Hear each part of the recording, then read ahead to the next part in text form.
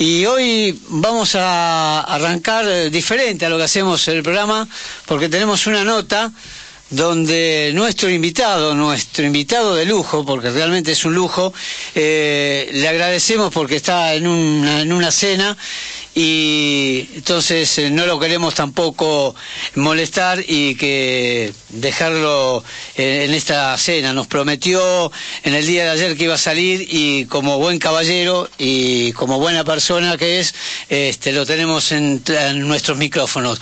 Estamos hablando del mejor arquero después de Amadeo Carrizo para mí. Eh, en Sudamérica y en el mundo tengo que verlo. Ubaldo Matildo Filiol, Roberto Alonso te saluda, muy buenas noches. ¿Qué tal, Roberto? Buenas noches. Desde ya agradecerte y bueno, pedirte disculpas porque te, te, estamos sacando de una reunión. Ah, es un lujo, yo me había comprometido contigo. No, no. Bueno, eh, eh, vamos a arrancar, eh, Ubaldo.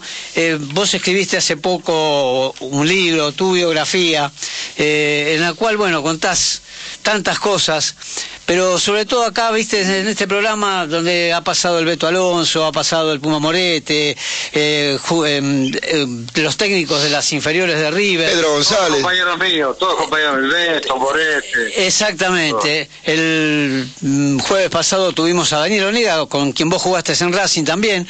Y, claro, y aparte estamos en divisiones inferiores. Es, exacto, hablamos con todo, prácticamente con todos los técnicos inferiores y todos resaltan lo que es River. Eh, para vos, que pasaste por un técnico que te ha dejado marcado como Ángel Labruna, ¿qué significa River, institución River, para vos como exjugador y como cuando fuiste jugador? Mira, Norberto, eh, es un legado que nos dejó cuando éramos jugadores nosotros, Ángel Labruna. Angelito, aparte de que yo, desde los cinco años que mi viejo me hizo hincha de River a mí, así que hincha de toda la vida.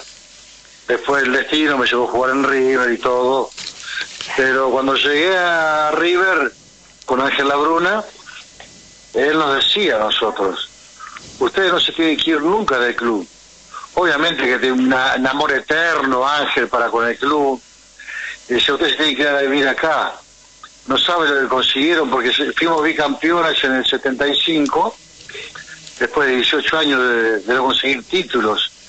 Entonces él estaba feliz de la vida y nos transmitía esa pasión por el club, el amor que él nos tenía, que él le tenía al club, y lo decía en, las concentraciones, tienen que quedarse de vida acá, tienen mucho para dar al club. Y bueno, uno terminó su carrera, en el caso mío, como en el caso de todos los muchachos, anduvimos por otros clubes, fuimos a Europa, selección. Y ahora que estoy en el club trabajando, mira, el domingo cumplí 69 años.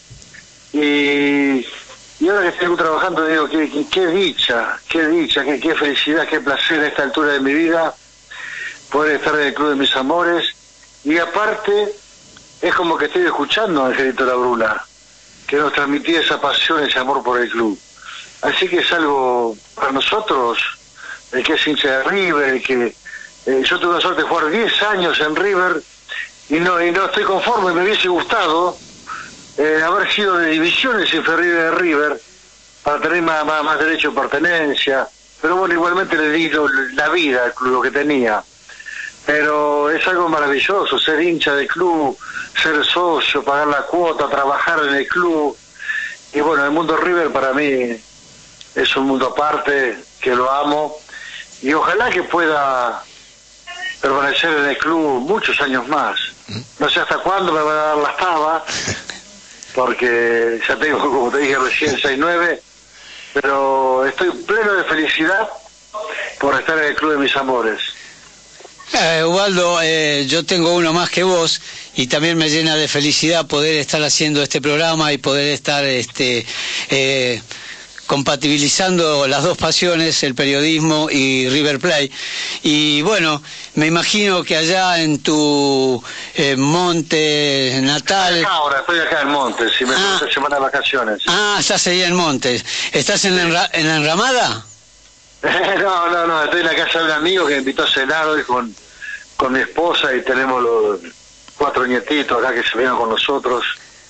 Eh, nos aman ellos, nos siguen, vienen a dormir siempre con nosotros y se vieron estas mini vacaciones acá en el Sarrién del Monte. La enramada, bueno, existe todavía, yo voy a la enramada, es donde yo desde muy pibe, un día pasaba, mira lo que es el destino, ¿no? Yo tenía, eh, a ver, me vine a los 15, tenía 13 años y trabajaba en la enramada y el dueño, que era José Rivero, fanático de River, me acuerdo, eh, me dice, vení, vení, vení, vení, te voy a presentar a alguien. Y fuimos a una mesa, yo era muy pibito. Ese Renato, este es el arquero que yo le hablaba. Era Renato Cesarini, que había ido a casar, no sé, a General Belgrano, creo que le gustaba mucho la caza y la pesca, y había parado una enramada. Y bueno, José Rivero, no sé qué le decía, pero quiero que lleve a River, porque ella jugaba al arco y al centro ahí en los potreros y me conocía José. Entonces eh, quería arreglar con Cesarini para que yo vaya a River. Y bueno, no pasó nada, no, no, no, no, esa situación no llegó nunca. Y al año, año y medio, un amigo mío me invitó que lo acompañe para ir a Quilmes. Y lo acompañé, lo fueron a buscar a él, obvio, Néstor Bustos, Pandito le decíamos. Lo, lo vieron a buscar a él a Monte. Pero como él quería que, me, que lo acompañe, eh, bueno, aprovechamos y hacemos la prueba los dos. Y ahí quedé, quedé en Quilmes, pero ya el destino me marcaba que, que, mi vida iba a estar en River, obvio, ¿no? Pato, Daniel Galazo te saluda, buenas noches, ¿cómo estás? ¿Qué tal, Daniel? ¿Cómo andas? Un gustazo, muy bien. Hablabas de Quilmes y de tu ansia, refiriéndote a que para aumentar ese, ese sentido de pertenencia te hubiese gustado ser inferior en River, pero digo, ¿cuánto de esto te lo has ganado vos? Porque yo me acuerdo de, de, tu debut en Quilmes, que no fue no, no fue no fue bueno ese partido. Corregime si estoy equivocado. Pero esa ansia de decirle al técnico, déjeme, póngame el próximo que yo tengo confianza. Y eso marca el camino. Sí, sí, yo era ya medio cara dura de pequeño. Cuando debuté me comí seis goles.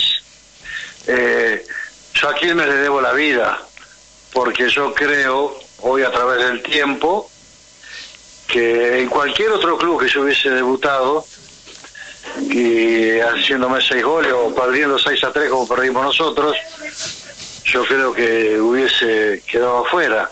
Y Quilmes justo llegaba Carmelo Faraone también. Sí. Eh, me dijo, no, pibe, porque yo lo, en la semana, viste, se hizo cargo Carmelo. Mm. Y, y hacían fútbol, entrenamiento. Y Faraone, nadie, no me hablaban, viste, yo era muy pibito, vivía en la pensión. Estaba solo, sufría mucho. Y el día jueves hicimos fútbol. Y tampoco, ni de suplente, nada me puso Carmelo. Entonces lo esperé ahí, que terminé entrenamiento, todo, pum, y me fui al vestuario.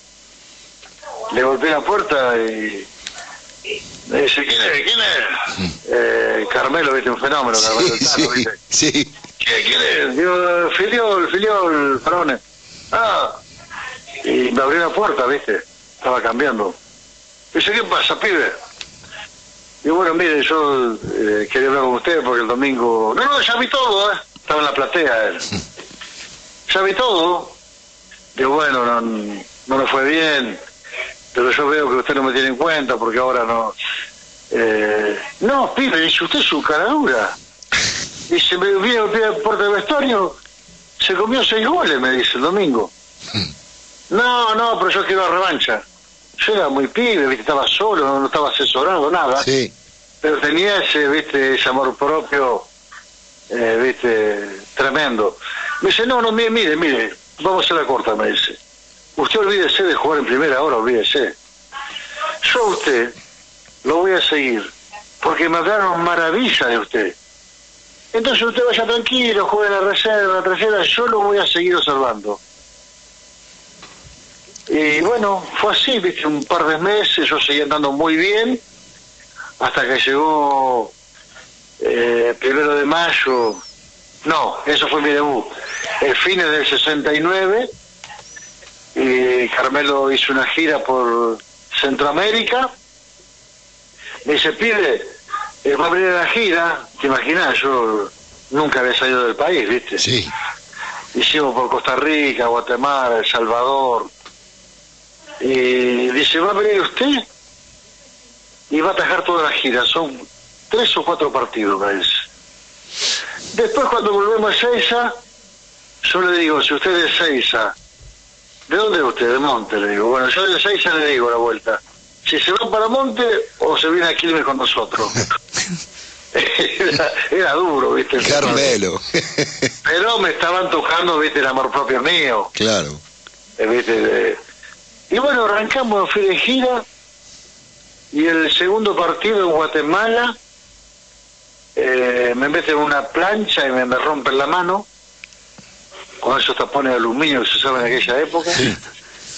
Me sacan del partido, iban 18 minutos, había jugado el primer partido bien. Y el segundo había arrancado bien. Y me sacan de la cancha a los 18 minutos del primer tiempo. Con la mano rota. Obviamente que los otros dos o tres partidos ni, de suplente salí de mano rota. Y bueno, fue tremendo de la semana, cómo pensaban en el, avión. Y cuando llegamos a Seiza me dijo, ¿se acuerda lo que le dije? Digo, sí, Carmelo. Y dice, bueno, se va a quedar con nosotros. El tipo apostó, la verdad, apostó tremendamente conmigo y ahí me quedé. Ahí me quedé, pero yo veo que en otro club hubiese sido imposible poder remontar el barrilete como remonté, ¿no? Pero hubo gente que confiaba en mí y bueno, yo le respondí, en algún momento le respondí. Y vaya si le respondiste, ¿no? ¿Eh? Y vaya si le respondiste. Sí, después con el tiempo, después fui que Faraón eh, me dice muy amigo, me se fue del club obviamente, pero seguimos en contacto y él donde iba decía, eh, este es el arquero del futuro y 70, se- eh, después quedamos, eh, Argentina no fue la Copa del Mundo de México, quedó eliminada. Sí. Sí, sí, en la cancha de Boca en el 69. Claro, y en el 71 un día me crucé, fuimos a un programa y dijo al aire, este va a ser el arquero de la próxima Copa del Mundo. Faraones, ¿no? Sí, sí, Yo todavía estaba todavía estaba en Quilmes, porque Racing me compra en el 72 a mí. sí. El tipo ahí, en el viejo Canal 7, ahí, edificio, edificio Alas creo que estaba. En el edificio Ala, sí, en el bajo. Ah, ahí está, mirá, mirá. Eh, y dijo al aire, no sé si era Macaya Márquez o quién era el periodista. Y bueno, tenía mucha confianza, apostó. Después en el 72 me compró Racing y me vio River. dijo, eh, estaba Angelito Laguna dirigiendo a Racing Sí. y prácticamente me llevó Ángel a River. Casi que te obligó, ¿no? ¿Eh? Casi que te obligó. Sí, pues un día yo estaba rompiendo un Racing. Eh, y llego al entrenamiento y dice, pibe, no se cambie, ¿eh? Uy, digo yo, ¿qué, qué pasó? y dice, venga, venga. Y me llevó vestuario y me dice, mire, ahora a la una mediodía lo, lo va a esperar, lo, lo espera el dirigente de River en la calle Mitra y no sé qué.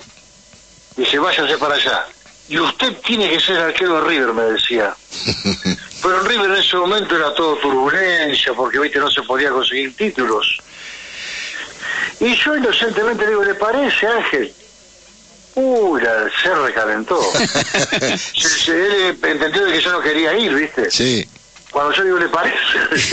me quería pelear, me quería pelear. No, no, tranquilo, tranquilo, que voy, voy, yo soy hincha de River, le dije. Y bueno, eh, me fui a River a fines del 73.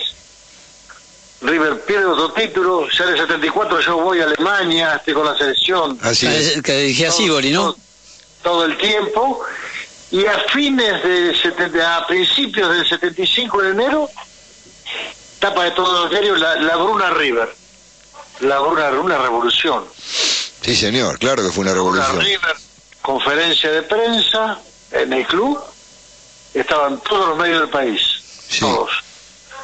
Eh, bueno, la tercera o cuarta pregunta que le hacen a Ángel, porque estaba Perico Pérez, que era muy buen arquero, que estaba rindiendo a River, Sí, era de divisiones inferiores, atajaba penales igual que yo. Le atajó dos a Brindisi, al Huracán campeón del Sí, 73. no, y, era, y era figura, claro, era figura, Sí. sí, dijo. Y la tercera o cuarta pregunta, ¿y si quién va a ser su arquero? Le preguntó un periodista. Dice, mi arquero es el Pato Filiol, dijo. ¡Oh! y lo lleva, lo trae Perico Raimundo de Independiente Sí, y le da a Perico Pérez a Independiente. claro. Y ahí empezó, bueno, tengo el orgullo de decir hoy que fui el arquero de, de Ángel, de Ángel Labruna, ¿no? Eh, Pato, acá nos manda un oyente, Daniel de Caseros, te manda saludos y, y pone acá, preguntarle por qué los arqueros eh, de antes atrapaban la pelota y los de hoy dan tantos rebotes. Eso, viste, eso va eh, en uno mismo, viste. y, eh, ese- ese- esos son los genes. Es una materia prima que uno tiene. Amadeo también la dormía, Sí, los arqueros de aquella época, daban menos rebotes. Ahora hay una curiosidad. A mí me dicen los especialistas ahora que la pelota es mucho más rápida ahora, por cómo la, la hacen, por el producto, pero que pesa lo mismo. Pesa lo mismo que pesaba la, la que yo, después de la de tiento, ¿no? Sí, Sí, sí, sí. obviamente, sí. la tango, todo eso que jugué yo.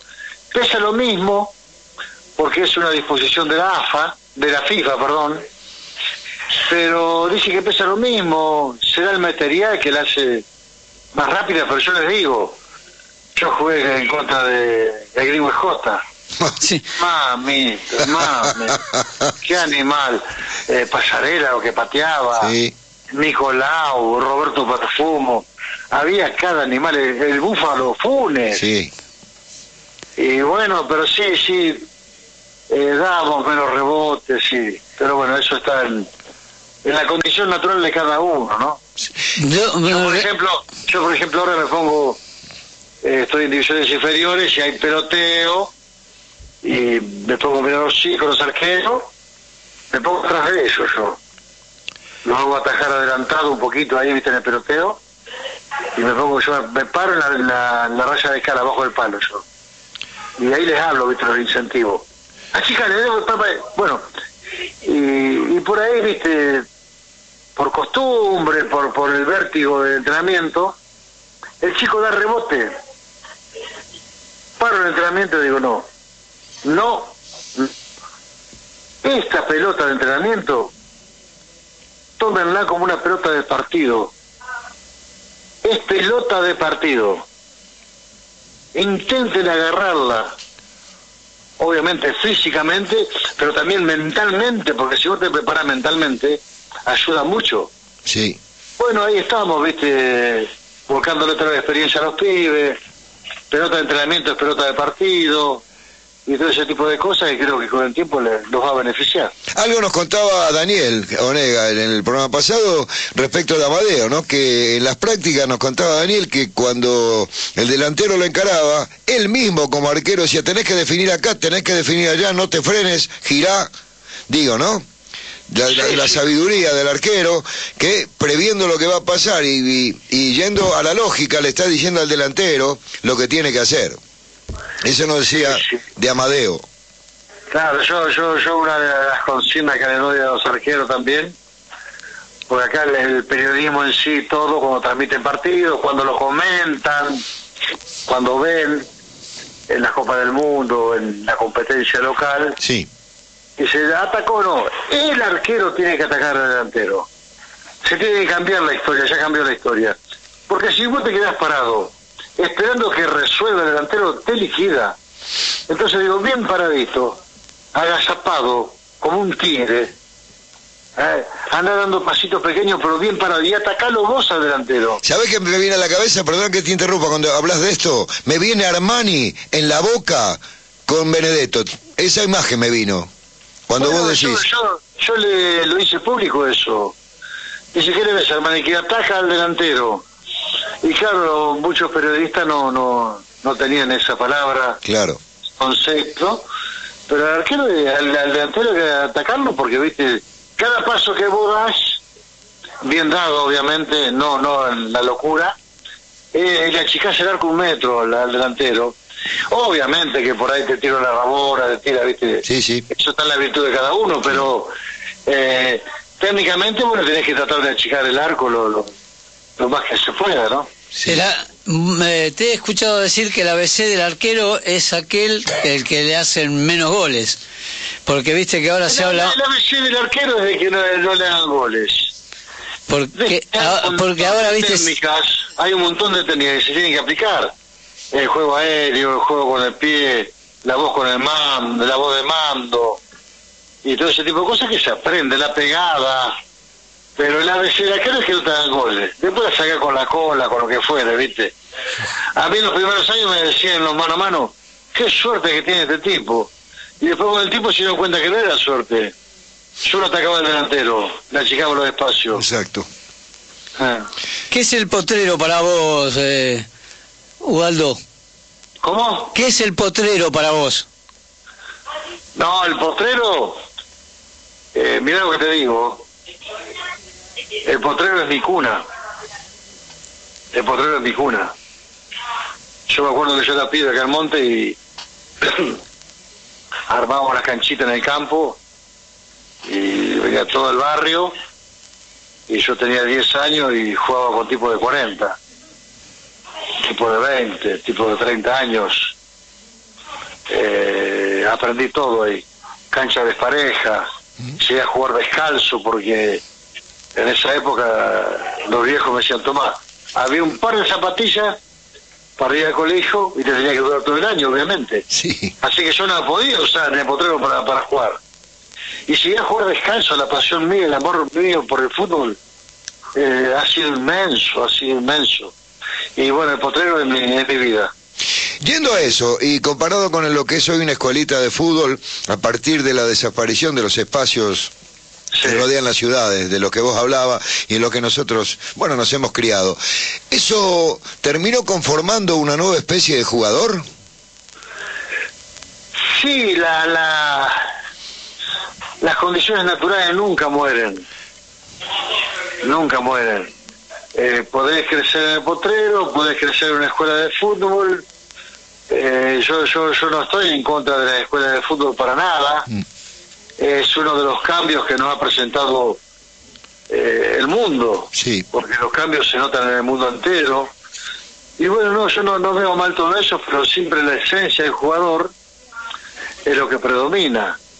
Está aquel que vos le enseñás y lo hace como vos le decís, y está aquel que vos le enseñás y tarda en, en- en poder cumplirlo, y después está aquel que vos le enseñás y no te entiende, no tiene la condición natural, y te tenés que dar cuenta, bueno, que tiene un techo su cabecita, y que bueno, hasta ahí llegó, ¿no?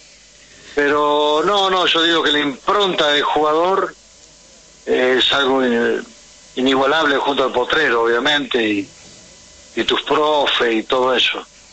Estamos hablando con Ubaldo Matildo Filiol, un lujo, un- el arquero para mí. Eh, y es el arquero no solamente se lo vincula con River, sino que es un arquero que trasciende los equipos, las instituciones. O sea, sos un arquero que sos eh, bien visto por todo, todo el ámbito del fútbol argentino. Amén de River, Racing, Quilmes, los equipos que ha jugado. Sí, sí, me pasa algo curioso también, dice Norberto. Yo recorro prácticamente, el, he recorrido el país con, la, con las filiales de River, haciendo a la cena, haciendo clínicas, jugando para los veteranos de River. Y hace poco estuve eh, en Castec, La Pampa, Mi pueblo. una filial que hubo, que inauguraron, y me invitaron y, bueno, tenía una capacidad de ellos para 500 personas, la vendieron enseguida. Y el presidente de la filial eh, me llama una semana antes, me dice, mira, Pato, dice, acá lo conocemos todo en Castec. Dice, en dos días vendimos todo, pero bueno, ahora viene la Peña de Boca, de acá de Castec, y quiere comprar eh, entradas para 10 personas, una mesa para 10 personas, porque te quieren ver. son de Boca, son de la Peña de Boca. No, no, le digo, yo no tengo problema, me parece bárbaro. También nosotros desde ese punto de vista tratar de evitar toda la, violencia que hay en el fútbol. Todo. No, si ellos te lo, te lo pidieron eh, y ustedes están de acuerdo, yo no tengo ningún problema. Y bueno, le vendieron una mesa para 10 personas a la Peña de Boca y le vendieron una mesa para 10 personas a la, a la filial de Racing y todo eso, bueno, eh, está bien. Ojalá que uno con ese pequeño aporte también ayude a que no, no todo sea rivalidad, violencia y todo eso, ¿no? Yo creo que los grandes, este, como vos, y otros que tenemos en nuestra historia, no solamente del, de nuestro club, sino en el fútbol argentino, me parece que hay un momento que existe cierta despersonalización, que comienzan a tener un sesgo partidario, sino que son casi patrimonio de todo el fútbol argentino, ¿no? Y eso sí, a, mí, a mí me marcó mucho, en el caso mío te hablo obvio, ¿no? Sí. Eh, me marcó mucho el tema del Mundial. Claro. Eh, y te voy a dar un ejemplo cuando hablo de que, de, que me marcó mucho. Acá hay un jugador tremendo que para mí está en todos los equipos que se puede armar a través del tiempo, que es Mario Kempes. Mm. Y Mario, por ahí la gente no le tiene tanto cariño, porque Mario terminó la Copa del Mundo y el otro día viajó a Valencia. La gente no lo disfrutó. Nosotros, a los 20 días, 25 días, ya estábamos jugando el campeonato local acá en Argentina y la gente nos recibía, bueno, fue tremendo, nos, nos, eh, nos vivió más, nos tenía en el día a día. Entonces el hecho de, haber seguido el fútbol argentino después de la Copa del Mundo eh, hizo que realmente la gente te, quiera de verdad porque fue la primera Copa del Mundo, la historia del fútbol argentino y todo eso, ¿no? Y aparte, seguir jugando en River. Eh, fue, fue tremendo, una, una historia, un pasado hermoso, una historia divina, ¿no? Que si cierro los ojos la, la, empiezo a vivir de vuelta, obviamente. Claro. Eh, ¿Qué pasó después de, de, haber logrado la Copa del Mundo al otro día? Eh, que según todos decían que ya después de haber ganado la Copa del Mundo no había otra cosa. Pero vos al otro día hiciste una reflexión y dijiste que ibas por más. Sí, vos sos campeón del mundo por primera vez en la historia. Eh, es como que tocas el, el cielo con las manos. Es algo tremendo, tremendo. No, no, no, no, no se puede explicar. No se puede explicar. Y yo, no sé si fue el otro día, pero si a la semana o diez días después, eh, estaba en casa, me fui a bañar, eh, yo salía de mi casa y había, iba para el entrenamiento, para River, y, había garage en Quilmes, y estaba cortada la calle, porque estaban, había dos o tres escuelas que venían para verme salir nada más. Es una cosa impresionante, ¿no?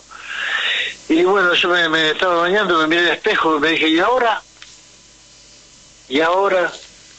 Entonces me, juramenté yo mismo frente al espejo, dije, bueno, eh, ahora tenés que superar lo que hiciste. Eh, ese es el desafío que yo me propuse conmigo mismo, frente al espejo, porque si no te come la fama, el elogio te come.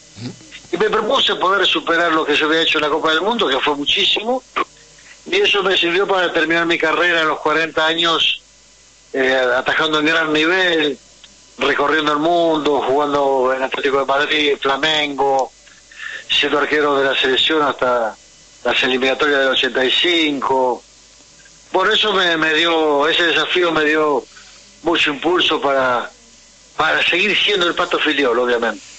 Vos, Pato, aparte pasaste momentos muy duros en ese durante la Copa, este, momentos que realmente a cualquiera lo hubieran bajoneado o lo hubieran hecho reflexionar. Estamos hablando en el momento que estaban los militares y, y bueno, tuviste este, una serie de, de problemas bastante, bastante graves, ¿no?